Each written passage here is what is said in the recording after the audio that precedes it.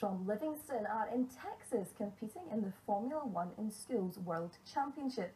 This weekend, a team from Inveralmond Community High School is taking part in the global competition, which challenges pupils to design, construct and race their own miniature Formula One car. Claire McNeil tells us more.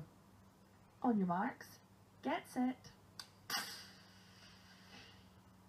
They're the only Scots to reach the finals of the worldwide competition, and these teenagers from Inveralmond Community High School are about to go head to head with 23 other countries for Formula One glory.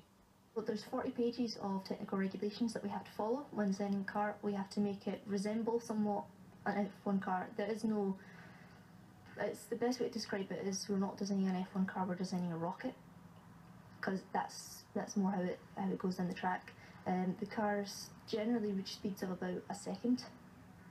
Wow. Yeah, travel about 20 metres in a second. Uh, we're hoping to break the one second barrier this year at the World, so.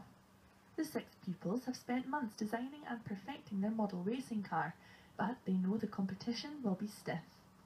You prepare your stuff for would it beat last year's, and then you go to the competition and you find out that everyone's basically above last year's. It's constant improvement from year to year.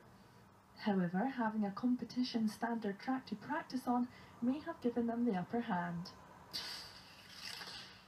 The cars are set off in the track. Um, it's 20 metres long and it's the same consistent length throughout all stages of the competition. We're fortunate enough, not all teams have their own track, we're fortunate enough to have our one. So we can do our own testing here before we head to the Worlds or any other competitions. Claire McNeil, STV News. And finally, you've heard of community